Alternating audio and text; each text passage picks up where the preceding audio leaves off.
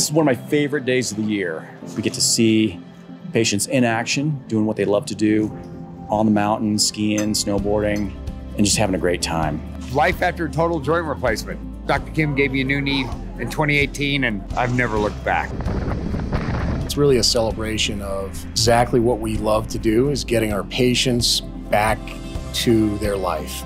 Not having to think about their knee pain, their shoulder pain, their hip pain when they're skiing and with their friends, with their family. Literally, it was given a new lease on my entire ski career, life, even just attitude because you just don't realize how negatively all that pain that you're absorbing is impacting you as a person, your personality, your character, the people you're around. And that's all been removed now from my life.